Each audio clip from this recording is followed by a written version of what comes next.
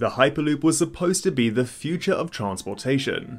It promised a sci-fi world where people would be shooting along at ultra-high speeds through vacuum-sealed tunnels, a world where you could make the journey between Los Angeles and San Francisco in just an hour, and a world where supposedly archaic forms of transportation like trains would no longer be necessary.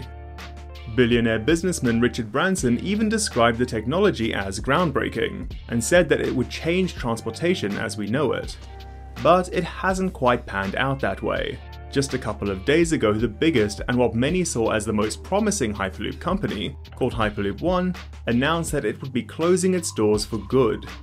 So, what happened to this business that attracted over half a billion dollars of investment? Well, in this video, I want to look at just that, as well as why the company has failed so spectacularly. I also want to ask what this means for the state of transportation technology, and what we could and even should be building instead.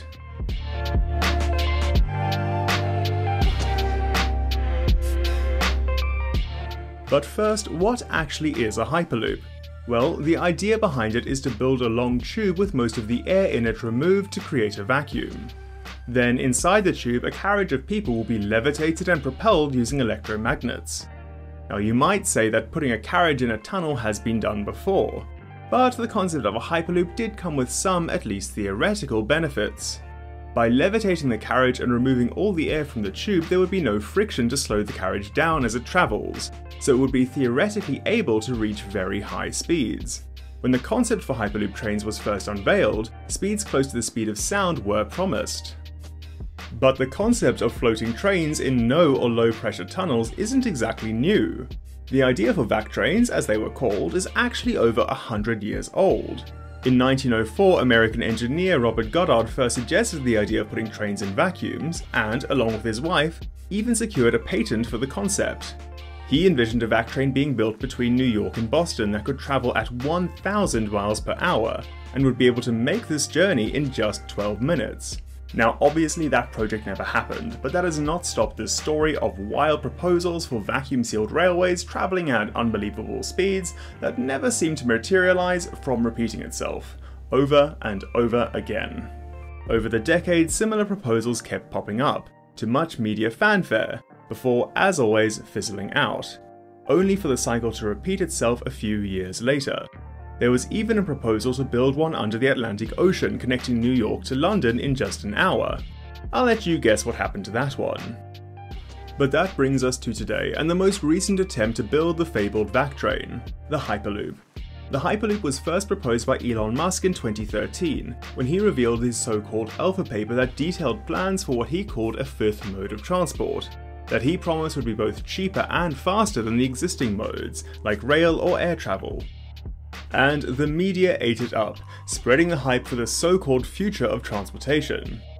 When he revealed his plans, Musk also effectively open sourced them, encouraging others to jump on them and take the ideas forward. And given all the hype, there were a lot of people eager to hop on board the supposed gravy train. In the following months and years, various Hyperloop companies were started, but perhaps the biggest and most notable was Hyperloop One. Hyperloop One was founded by an Iranian American investor named Shervin Pishevar, hope I'm pronouncing that right, in 2014, and immediately started attracting a lot of investor attention. It had raised $9 million by January 2015, and by the end of that year that figure had grown close to $40 million. In May of the next year, they added another 80 million on top of that in Series B funding, before receiving a $50 million investment from Dubai-based investment firm DP World a few months later. That same year, they also ran their first prototype with an open-air acceleration test. This test basically just involved using magnets to accelerate a metal cart to 213 km an hour. The acceleration took just 2 seconds, which, while impressive, wouldn't be particularly practical for human use because of the amount of g-force generated. It also didn't take place in a depressurized tube, and 213 km an hour is about the same speed that Japan's Shinkansen was reaching all the way back in the 1960s. This prototype was effectively just a large open-air railgun, but that didn't stop investors fawning over the project. In 2017, Richard Branson's Virgin Group jumped on the bandwagon, acquiring a significant stake in the business and rebranding it to Virgin Hyperloop One. At the time, the company was also working on its first proper Hyperloop prototype, a 500 meter long track called DevLoop being built in the Nevada desert. Unlike the basically railgun prototype I mentioned before, this would actually work more like a real Hyperloop, being constructed of metal tubes that could be depressurized to run magnetically levitated and accelerated passenger pods.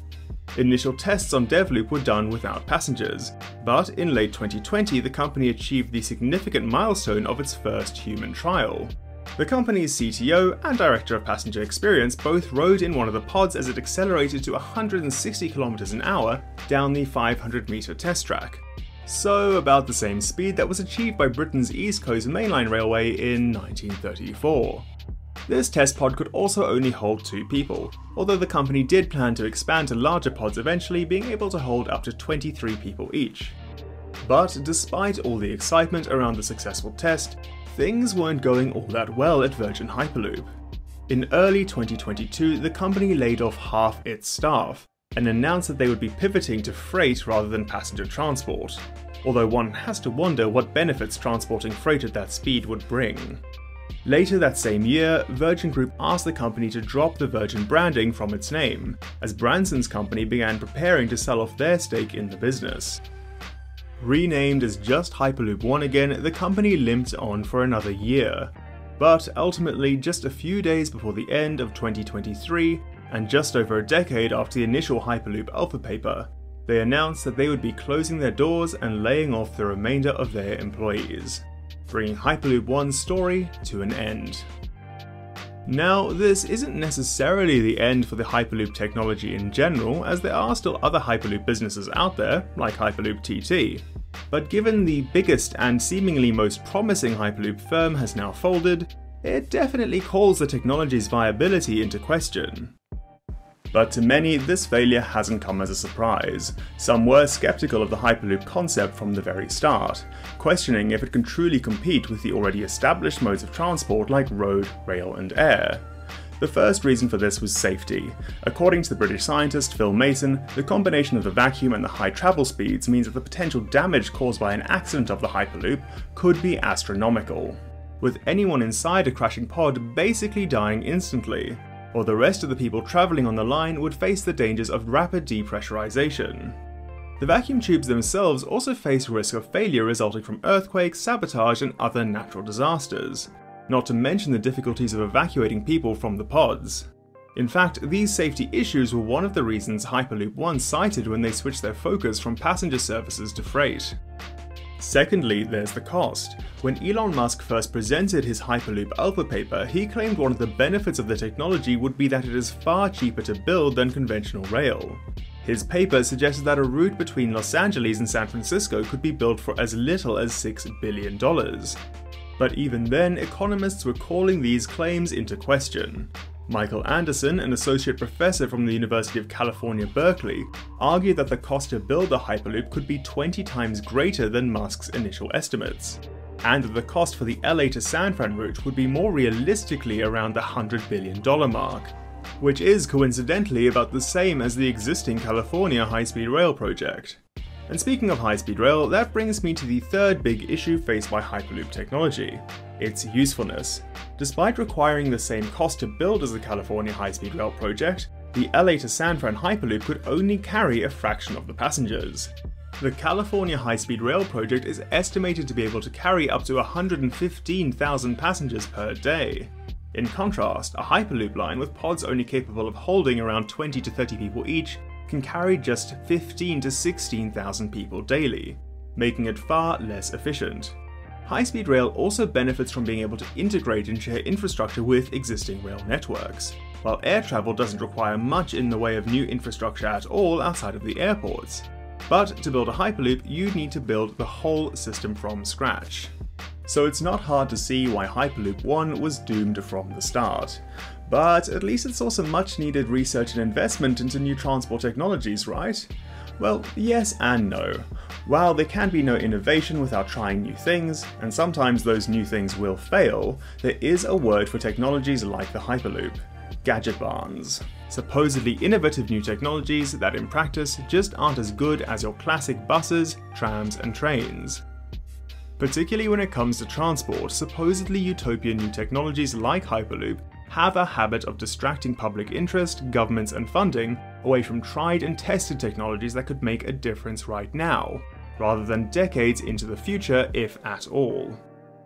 There was a classic example of this in 2019, when an Indian state government announced plans to build a hyperloop between the cities of Mumbai and Pune.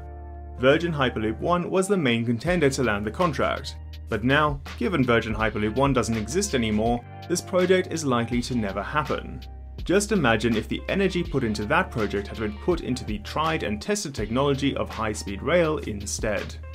Ultimately, it looks like we're not going to be riding around in Hyperloops anytime soon. And while I think there is a place for research into new transport technologies, the next time somebody announces plans to revolutionize the way we travel, let's treat it with a healthy degree of skepticism. And until it's absolutely proven, let's focus our time, energy, and money on technologies that have proven themselves time and time again. Well, I hope you enjoyed the video. If you did, consider giving it a like and subscribing to the channel. I'd also like to know what you all think of Hyperloops. Are their technologies still worth pursuing? And of course, I'm CityMoose, thanks for watching.